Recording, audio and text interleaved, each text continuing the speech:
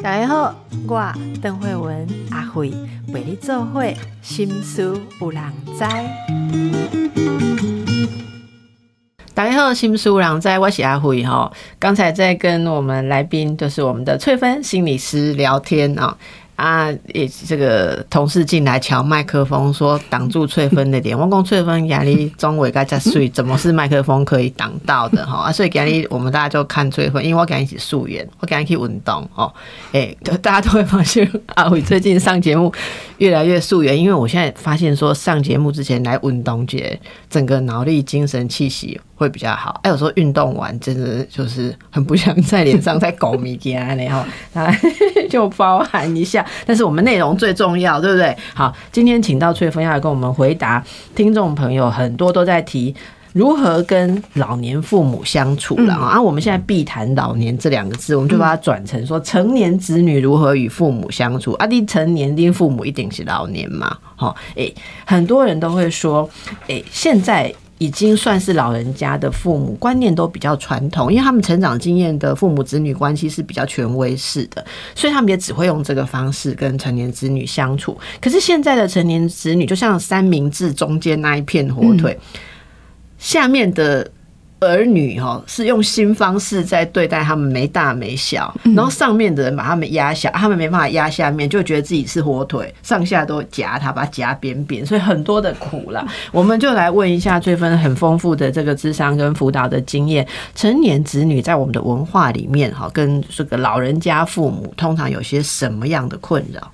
像你刚刚就已经有提到了，就是三明治中间那一层，那就要看他成年子女，他下面还有没有下一代，或是呃他成家立业了没有？那我先讲还没有的好了。嗯，像我自己就还没有，但也算成年子女跟父母当中，呃，感觉好像没有很大的问题，但是还是有很多细琐的呃烦恼那样子。你也会有烦恼？会耶。像我妈妈就是一个很。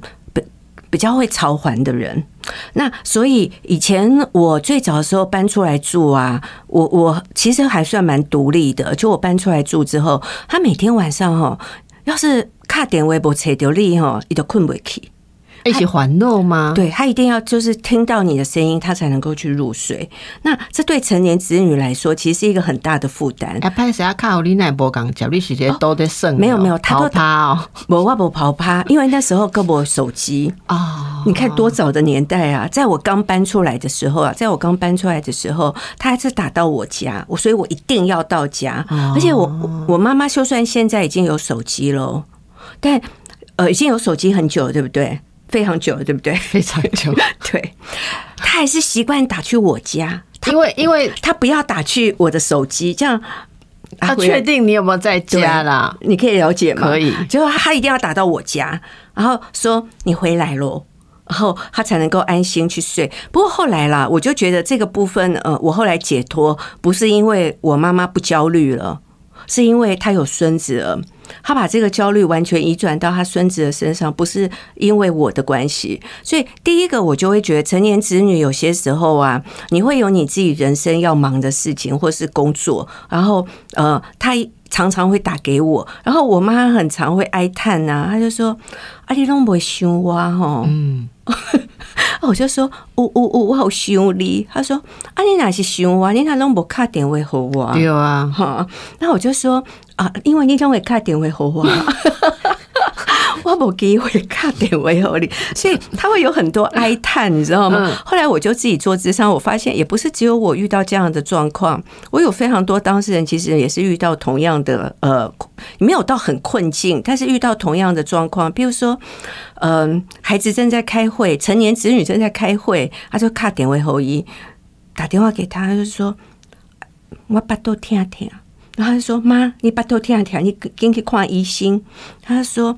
看我们怎样被他拿起啊，怎样的？那你就一定要抛下你手中的事情，奔回来，然后带他去看医生。嗯，那这对成年子女来说还蛮多遇到这样的状况。对，嗯，那我很常遇到的就是这种情形，或者是说他会有一些身体不舒爽，然后你知道我妈打电话给我会跟我讲什么吗？我妈说：“你你也是可以搞到猛烈疑心不？”我还巴肚疼疼，是为了什么？我说我医生是精神科医生哦。他说嘛是医生，嗯，那我真的有一点三跳。他说妈，但是我想要帮你去问我们医生，那我问不出口。我没有办法问一个精神科医生说，我妈肚子痛是 为了什么？所以遇到这样的难题的时候，但是我还是很有耐心的把他要跟我讲的话听出来，听完一定第一步一定要先有耐心的把它听完。那那是因为你很熟悉他他的需求，或他在表达什么，或是他背后的含义哦。但是我想你也看过我们很多的朋友，他们听到这个时候会起烦躁，会会痛苦的，对不对？所以。呃，要怎么样才能在心境上可以转换到像你这样子哈，知知道啊，原来妈妈她是一种焦虑或什么？怎么样去避免自己一听到这种电话就俩工？真的很容易俩工那样子，连麦克风的标牌都俩工掉下来了哈。而且我很常跟我妈妈讲话的时候啊，我就说好，那你慢慢说哦。所以其实我也是被锻炼出来的。好，让你慢慢说。我觉得这个很。这个就很不一样，因为我们会说你跟讲，你千万不要叫你妈跟讲，跟讲他就会讲说算了，我不会跟你讲啊。对对对对，而且我妈很常用一句话就足以把我打死了，就她要跟我讲任何一件事情，像我刚刚说的，她要我去问精神科医生她肚子痛这件事，我如果跟她说妈，我真的问不出来，她就说丢了丢了，你有塔猪了，我不塔猪了，你知道吗？一句话就足以把你呃让你阵亡了。所以，我我有时候就会想说，我妈妈这样子来告诉我啊，那她就是要告诉我说，她需要关心。我当然理解她需要关心，好，但是我第一步就是先深呼吸，然后让我自己跟她讲说，那你慢慢说。而且我妈会，她是一个有一点冲动的人。在他的那个呃，他即使他现在年年岁比较大一点，我妈很冲动哎，我妈情绪很容易暴怒易怒。我举个例子来说，我真的是从他身上啊学到非常多应对长辈之道。我来，我感觉以以这一点，我跟你的共鸣是，很多心理智商师都有这样的妈妈，所以我们才会变成心理智商师，因为我们必须学这些，我们真的要学。然后第一个就是说，不会跟他说快点讲。我在开会，我很忙，说你慢慢说，你什么事跟我讲。好，讲完之后说好，你刚刚是不是跟我说你肚子痛？那现在因为我不能去找你，那可不可以你现在看说，呃，有谁可以陪你去看医生？就是慢慢跟他讲。另外，像我妈也很容易抓狂，嗯，有一次我就约她喝下午茶。那本来不是一件很愉快的事吗？是啊，要为他庆生，然后喝约他喝下午茶，还我每次都不会只有单独请他，我一定会请呃他喜欢的朋友或是一些阿姨们、阿姨们或姐，就是表姐们，就是会有聊天的对象。一一方面，我宁可请他们喝下午茶，分散我妈跟我聊天。的火力，的火力，对对对对对，然后一定请其他的人一起来。他来了之后，他找他有先来看一下，说哦在哪里，然后他觉得时间还早，他又回家，然后再来，他就找不到路了。其实他那个地方他已经去过了，但他第二次找不到路，他一坐下来就。真的是匹配给我，然后一直骂我说：“你选这什么餐厅，烂死了！”然后呃，都让我找不到，他就一直说：“我不吃，我不吃，我不要吃了。”然后就抓狂暴怒，然后我就说：“好，妈妈，如果你现在还不想吃，你先坐一下。”我就跟我表姐说：“表姐，你先去拿好了，让我妈喘口气。”你都不会动气啊？我后来被他训练，我不太会动气，因为我就知道他是一时的，他会过去的。我在我心里就会告诉我自己说，是一时的，他会过去。果真，他一时的，因为我请他喝下午茶是吃到饱。我妈是一个蛮节俭的人呢。他一定会觉得很浪费，他少吃了很多时间。了解他，对，所以我觉得要跟长辈沟通，第一步你一定要了解他的心性。我知道我妈很暴躁，就她很容易焦虑，她很容易着急，然后她很容易呃易怒，然后她在很着急的时候，她攻击的驱力很强。所以我后来发现，学心理学真的对我应对我身边的人际互动非常有帮助，因为我已经在我心里就说，我妈就是这样特质的人。那我如果那时候跟她说，妈你自己迟到，那你还这样子。呃，就是鬼吼鬼叫的，那他一定叫叫的更大声，他不会马上就说，嗯，女儿好，我乖，我赶快去吃，不会的。那我就说，你喘口气吧，你要喝饮料，我可以帮你拿。然后他之后哦，就翻脸跟翻书一样，他就说，哦，我现在要吃什么？哎呀，就好嘞。他完全忘记他刚刚他得到你的包容了。我觉得这个是最大的一个需求。你你这样讲，我想起好多好多例子哦。我我呱呱呱问阿布，很多很多的例子。嗯，是怎么说呢？就是嗯，你知道阿布们他们也会跟阿姨们，就是他的所谓他的朋友，他们就会互相讲自己的小孩，没错，会诉苦。然后有另外一类的状况，我们会被惹毛，就是他会拿别人的小孩、别人的女儿跟你做比较。嗯，好，然后那个说法就是说。诶，你知道现在啊，有一家什么下午茶的餐厅很红哈？我说哦，你怎么这么潮？你也知道，因为那个什么什么阿姨的女儿带她去的。嗯，哦，她女儿很孝顺什么的啊？你就想她没事关心人家的女儿孝顺干嘛？她就是在讲我们嘛哈。好，那说到这个，我觉得也有一点，哎呦，你你触动了我的一个一个回忆哈。那我那我的先讲我的理解，就是有时候。老人家的闹脾气跟不好相处，是要体会到他们的挫折感。其实我觉得刚刚那个伯母找不到路的时候，一点干妈公做挫折，我哪吹波咯，我都要来看鬼啊。所以他对他自己的可能能力啊，或者记性啊，我们会发现说有一点点挫折感的时候，我觉得他们会。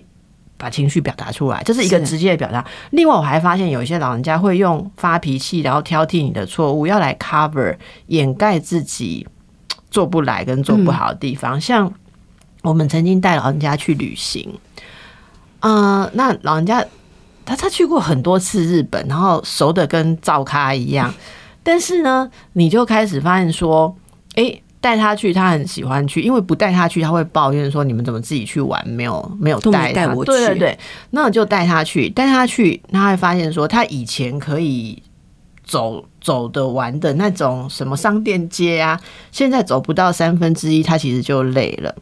然后累了呢，他就抱怨说：“这里好无聊，干嘛在这里逛？”那我们就会说。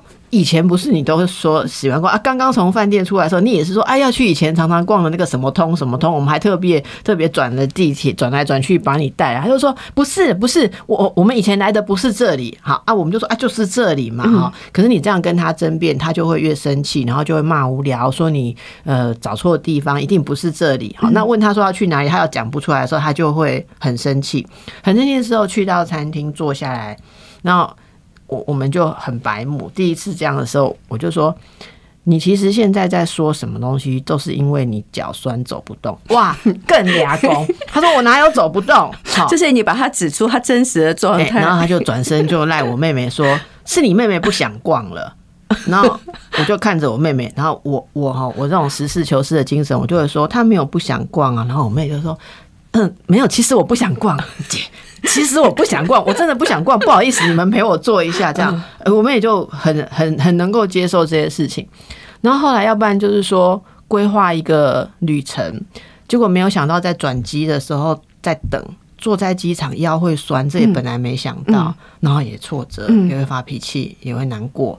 所以我觉得，如果你什么事情都把它直接想象说这个对应合不合理，还是说他们就是权威，他们就是想要用大呼小叫的方式，你可能会错失理解他们的点。真的，真的，对不对？像我们现在，我自己现在慢慢有年纪，有时候我会跟我女儿说：“你要体谅一下，妈妈真的没有办法这样子走哈。”这，所以我我我慢慢的发现，有时候多一点，应该说我们多一点自信，知道说爸妈。没有对我们那么坏，他不想，不是那么想对我们坏。可是理解一下他的挫折，然后给他个台阶下。像刚刚，如果能像翠芬这样应对的话，我是觉得蛮好的。那我们有一位网友，他问的事情是说，他的爸妈对他讲话都是用命令的语气。我们刚刚讲的那种是高怪嘛，哈，但有一种是。父母就是子女已经很大了，可是父母还是把他当小孩教，这种是要用什么心情去应对？的确有一些父母啊，很喜欢用命令的口气，就是你给我去倒垃圾，你给我去做什么，你给我去做什么。这的确孩子听起来会觉得很不舒服。光是听他叫我说，呃，你给我去倒杯水，这种命令的口气，给我去倒杯水。现在还有父母这样跟孩子讲话，有时候还是会有，哎，就是说，或者他你给我以外，还会说你去。你去帮我倒杯水，你去帮我做什么？你去帮我买东西，嗯，而且要立刻去，不能延宕，延宕他就会觉得你不听话。所以有一些我觉得，呃，权威式的父母也的确是了，光是听他那个语言，因为你要想，这个小孩也其实长大成人，已经听了你几岁你就听了多久？啊，有人说。有人说我在公司是呼风唤雨呢，多少人在我旗下 在管的，我回来被你像在叫狗一样。没错，没错，没错。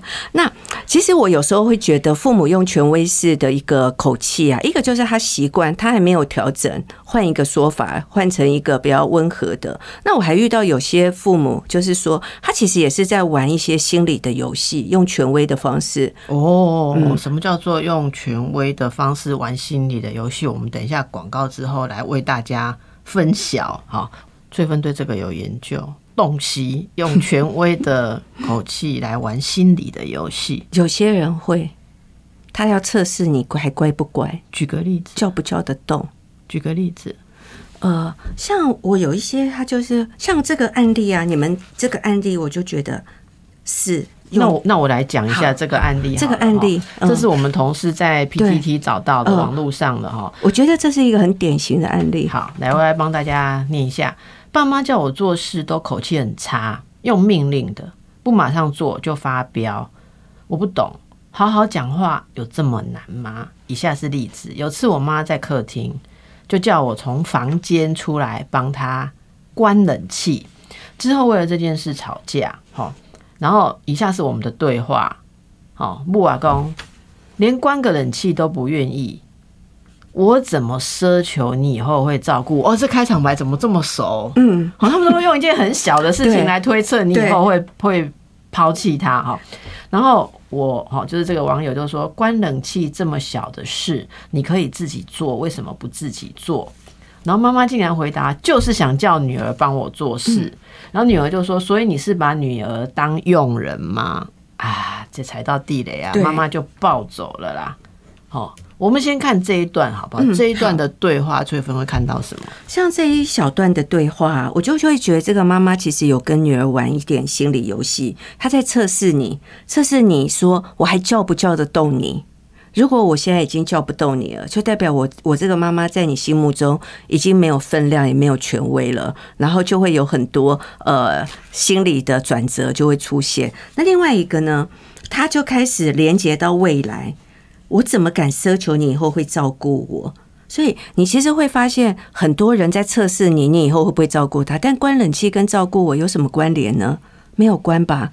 嗯，我是听你这样讲，我觉得你现在可以自己来做啊。可是很多父母都会连接，连接到未来的某一个呃，你会不会对他做某一些好事，或是你不会对他做好的事情？他会用一个很小的地方来测试你，嗯，所以他测试了就会觉得啊，可能他接下来就会讲，以后别指望你了，就开始一连串就会出现了，我就会觉得这是一种测试。那另外一个。嗯，他可能就会觉得，呃，谁比较重要？他也是一种测试。你现在要做你自己的事，还是你可以来出来帮我关一个冷气？那其实关冷气真的是一件很小的事，可是里面可能意含着很多很多我们看不见的一个测试在里头。这是我会觉得是在玩心理游戏的最主要的缘由那样子。那身为女儿的要怎么回应比较好？如果说遇到这样的情形啦，因为他讲说你是把女儿当佣人吗？这当然是会让妈妈暴走，对，会会踩到他的那个线，是因为讲对了吗？不是，是是一带着指责啦，哈，代表妈妈这样做很过分，那等于就在说妈妈很过分，妈妈就会暴走嘛，哈，那要怎么样回答比较好？如果我听到他叫我去帮他关冷气，你就去关了嘛？一个是我就马上起身就去帮他关。但因为我现在比较不会遇到这种状况，是因为我跟他没有住在同一个空间里面，都是我妈帮我开冷气比较多，所以我不会遇到这种状况。但如果我妈真的跟我讲这样子，一个就是我就直接起身就去帮他开关冷气，另外一个我会跟他讲说：“妈，我现在手上正在做一件事情，不能断。你如果可以的话，你就自己去关一下。”那你如果要等我关，我需要在这个告一段落，我才能帮你关，表达一下自己的立场或是我的状态，让你知道是嗯，然后你可以等吗？我大概大概还有多久？因为我刚刚有跟你说，我妈是很焦虑的，所以如果我没有跟她讲一个时间点，她会很焦虑。所以我因为基于对她的理解，我就说你可能要等我二十分钟哦。那你这段期间你还可以等吗？如果你不行等的话，就拜托你，我会反过来拜托他。我觉得说拜托你去开一下冷气哈，我觉得多关一下冷气。我要把碎分这里面的秘诀再强调一下。第一个就是说，表达自己的立场，是一个温和，然后很清楚的表达自己的处境，所以也让对方知道，也让对方有机会当一个合理的人啦。嗯，哦，你如果不去讲你现在正在忙，然后你满腹怨恨的起来关冷气，然后再来生气，有时候妈妈也觉得非他所愿。好，所以我觉得大部分的长辈，你清楚温和的表达为什么我现在没有办法立刻照你的指令做事，我都会我都会讲说，这是给他们一个合理的机会，就是你不要做做成一个很很讨人厌的爸妈。我告诉你，现在不要叫我哈，我我也给他有个机会合理。那如果他这样子他还不合理，我就会假设他有特殊的，像你刚刚讲心理需求、心理游戏。嗯，所以你刚刚说的其实有第二个方法是反过来拜托他。嗯，好，而且你中间好没有你，你还有第二个层次是先问他能不能等。对，我觉得这些都是大家要去思考。这其实听起来好像很简单的几句话，里面就是有很深的了解跟互动嘛。所以你说你问他能不能等。也给他一个机会解释他为什么现在要叫你，这就是沟通，对不对？然后第三个部分是反过来拜托他说出你的需求。我觉得这三个层次就跟你这么努力的直接反射效果还不好。好，那这三个过程其实是通常都是会往比较合理的方向去走，除非有一种情况是那妈妈真的是。某种状况跟你的关系之中，他太不安全了，他还需要测试，他可能就会讲一句话哈。我有看过一种情况，是他说：“你刚刚跟我从你刚刚跟我漏漏等讲这些有的没的，什么问我能不能等，说你在忙，哎呦什么拜托我干嘛？你如果在公家我的时间讲出来的，给我管好啊！唔对，你等下还得讲下无为不为，这是没诚意。宁可讲这些话，也不要帮我管哈。我我觉得，如果你的父母是属于这样的话，你可能要想一下。他已经不在合理的范围内，是不是他？我觉得是第一个，他心理状态出了问题。他他已经不是一个正常量的互动可以平静。他要么特别的挫折，对于老化有焦虑，还是对自己的存在感，嗯，不安全感，觉得自己不受重视。对他需要很极度、极度的被重视。嗯，对。所以大家刚刚这几个方法学起来，啊，我再贡献一招，然后。我看过很有效，对对某些父母亲，有时候你要拿出一点诚意哈，就是要放大一下他想要得到的东西。例如说，嗯，阿芬呐，你出来给我关一下连气嘞哈，好吧？那你就想这种事情常常发生，我不如一次把它解决哈。你你不管手上有多忙啦，你真的先丢下来出来，很慌张了说。妈，怎么了？脚没力吗？好，那找不到遥控器，那个啊。啊，你叫什么名字？我叫什么名字？我们家地址背一下。啊，妈妈说你在干什么？不，我我想你你你还忽然干不，我都自己关进去，我惊噶。我我我觉得有时候，如果你的父母，我刚才先讲，刚刚正常状况不能应付，那我我前提是说他不是真的生病或什么，你知道他在跟你玩心理游戏，而且玩的有一点点你你受不了的时候，你你你先不要发脾气了。我真的觉得有时候幽默一点哦，你你忽然叫我出来关冷气。我吓到呢，你是不是怎么样吼？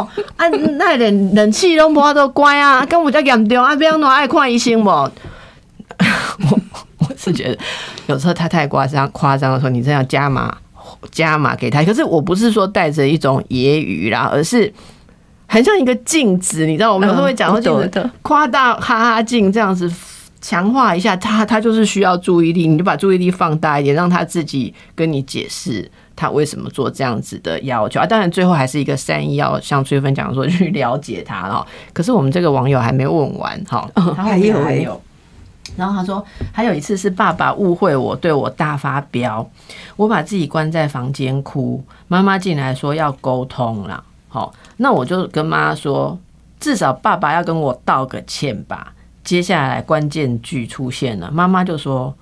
我真不敢相信你会觉得父母应该要跟你道歉，然后我就被暴骂一顿。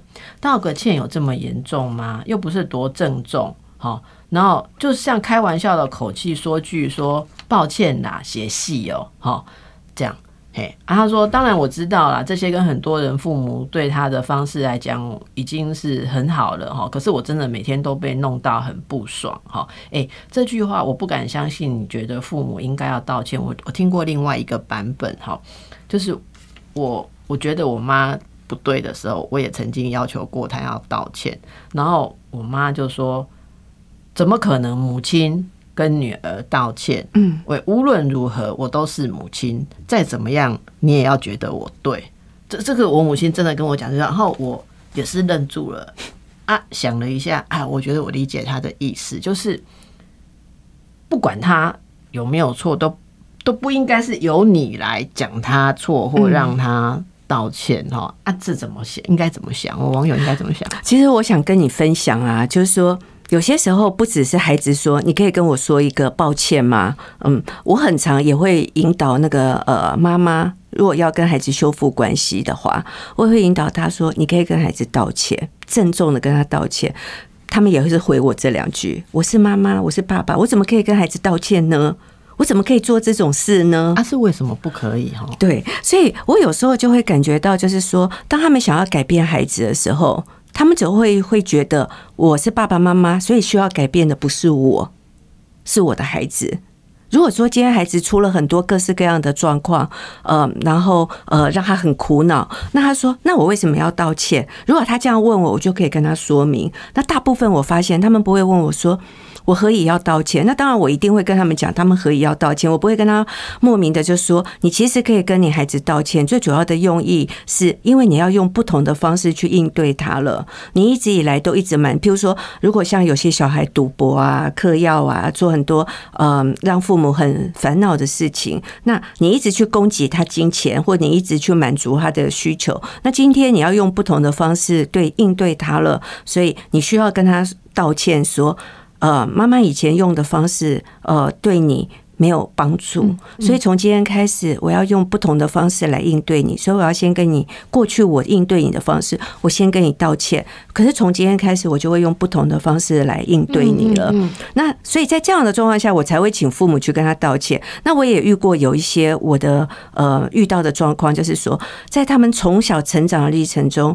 爸爸妈妈对孩子做太多不好的事，譬如说打他啦、骂他啦、虐待他、语言羞辱他，对羞辱他。等到他长大之后，他譬如说他已经是严重的忧郁，他已经不想活了，他做了很多伤害自己的事了。那这时候，孩子当然来做智商之后，他会很希望从父母的口中听到一句道歉，说很抱歉，我以前对你做了不好的事。那句话也许可以把孩子从小所有受的苦。不能说一笔勾销，但是可以淡化一些，或是你知道你对我做不好的事，对孩子的心理其实有一些平衡的作用。那你也会发现，有些父母也是一样会讲同样的话。那当然，这个网友遇到的状况没有那么严重。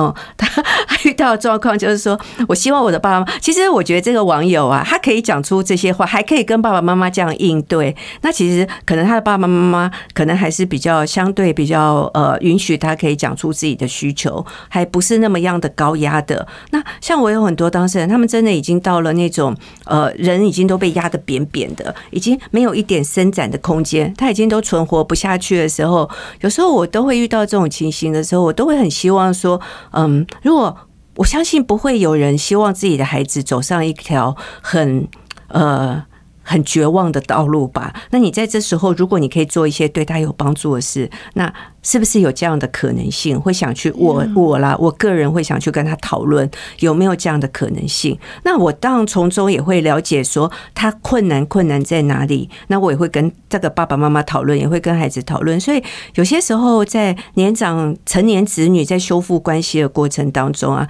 像道父母道歉这件事，我觉得真的有不同的状况，那也有不同的呃程度。那也有一些孩子是因为偏心。嗯，偏心之后对他造成很大的伤害。父母偏心，对父母偏心。那如果说当他成长大成人之后，他有心中累积了非常多怨恨、愤恨的情绪。那如果说父母这时候可以跟孩子说一下，说我想我那个道歉不一定说只有说对不起，而是可以看到自己的忽略，而是说，嗯，我小的时候的确有一些忽略的部分，我没有注意到这个部分，我跟你说。很抱歉。那我不知道我现在还可以做什么，让你心里觉得好过一点。所以我说，父母的道歉，其实有些时候我自己会觉得，在修复关系的过程中，其实是有一点必要性。那你如果说不出口，真的，我觉得对不起你，或者是说我希望我的孩子他可以改变。那我希望他调整，他不要再变成现在他这样子，呃，自暴自弃啊，或活不下去啊，或者是已经走投无路的状况下的时候，那嗯。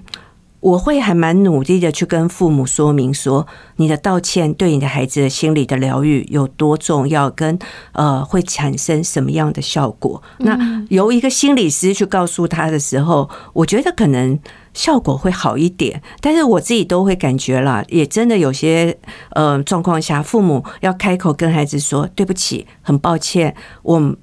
没有扮演好这个角色，或者是说我对你造成伤害，或是我对你造成影响，好像对父母来说，他他们其实还真的蛮难启齿的。所以有时候我就会反过来再跟我的当事人讨论说，像这样子的状况，如果没有办法得到爸爸妈妈一个好的觉察之后，给你有一个呃。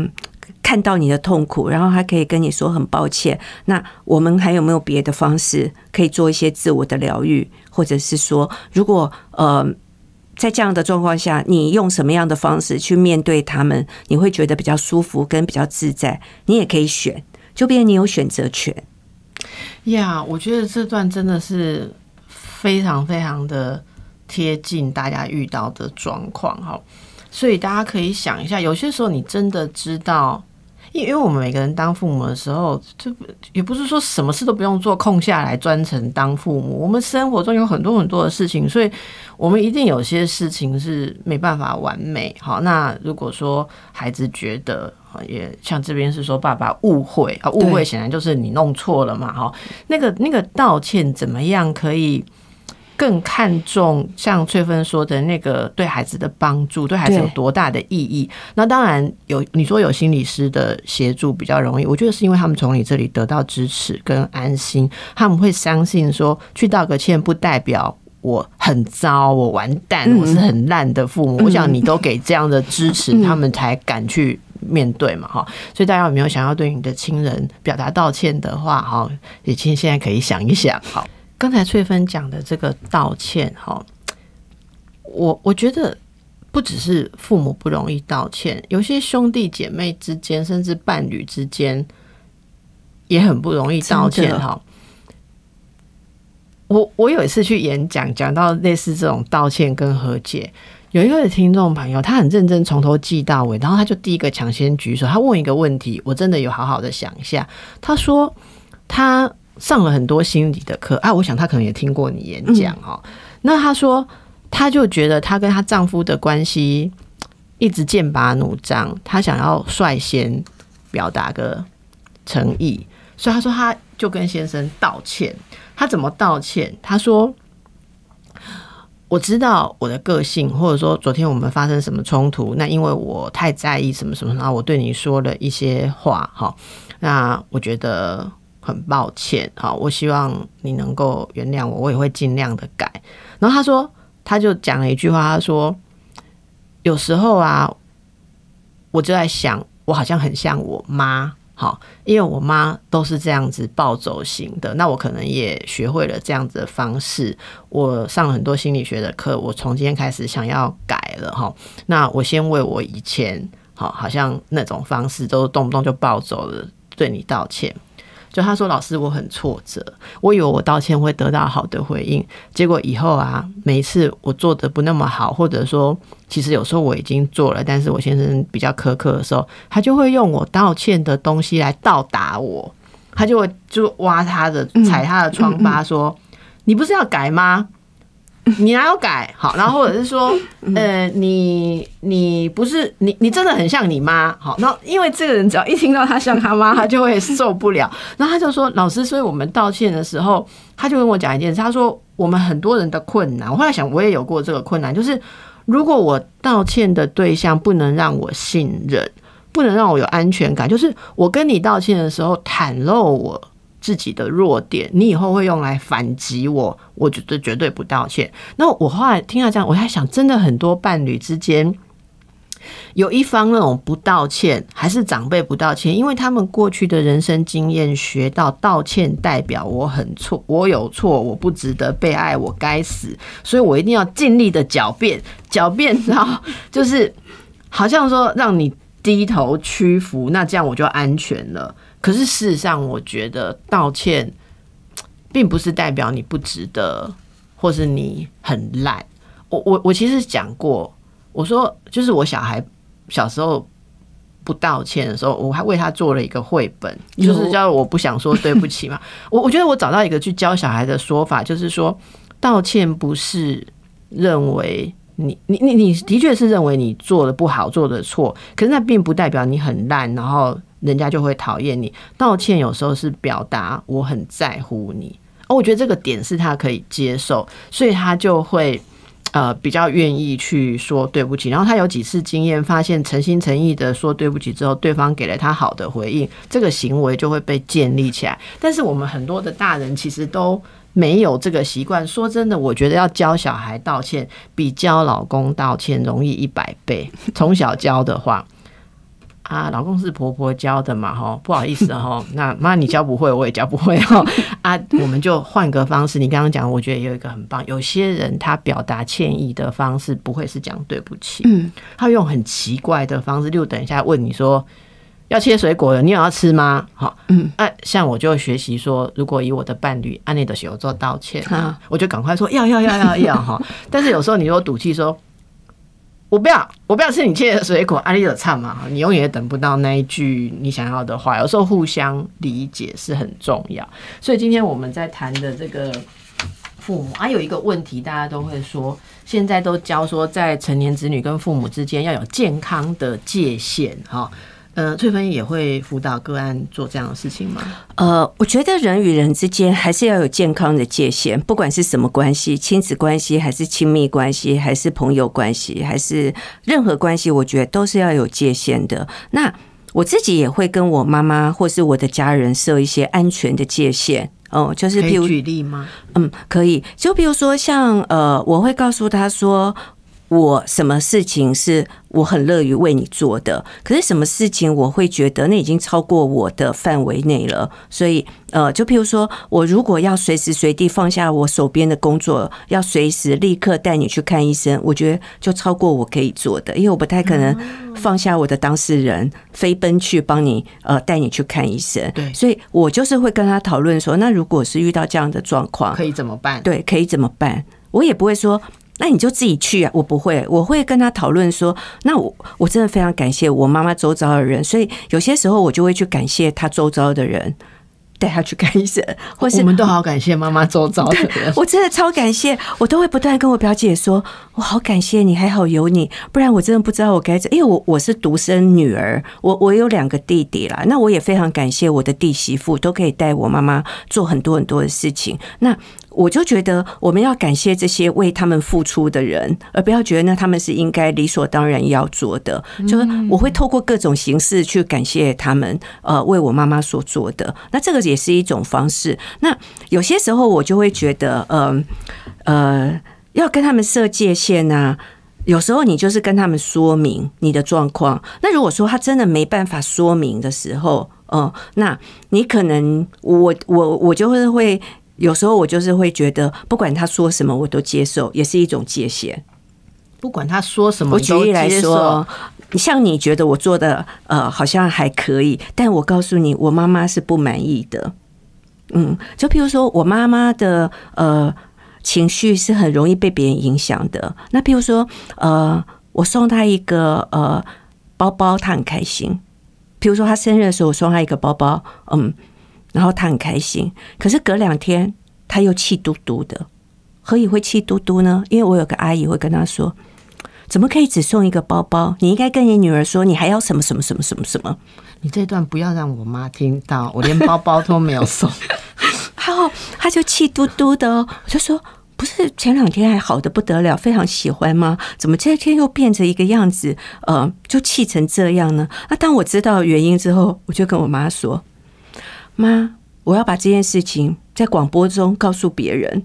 这个阿姨真的是做一个煽风点火，你现在做到了，对我做到了，所以 我就很讨厌那个阿姨啊。哦，我跟你讲，我为了平衡你哈，不要让那个阿姨。我跟你讲，我也有一个这样子的我妈的朋友，她问我妈说，邓慧文一个月给你多少钱？嗯，啊，结果那个数字她不满意，不是我妈不满意，是那个阿姨不朋友不满意，阿姨不满意。我相信点火。对，这时候阿姨我就跟我妈说，嗯，下次我要去跟。呃，我就要在节目里面用这个当例子，说有些人哦，就是看不得人家亲子关系好，人家亲子关系好，他就是要来那边点火。你还真敢讲？对我就会这样跟我妈妈讲，然后她说，我妈就很紧张，她说你不要去讲，对你不要去讲，你你不要在节目里面讲那个阿姨，她是她她不是这个意思。我就说哦，她真的不是这个意思吗？那她是什么意思？对，所以下次呢，我就说不管这个阿姨说什么。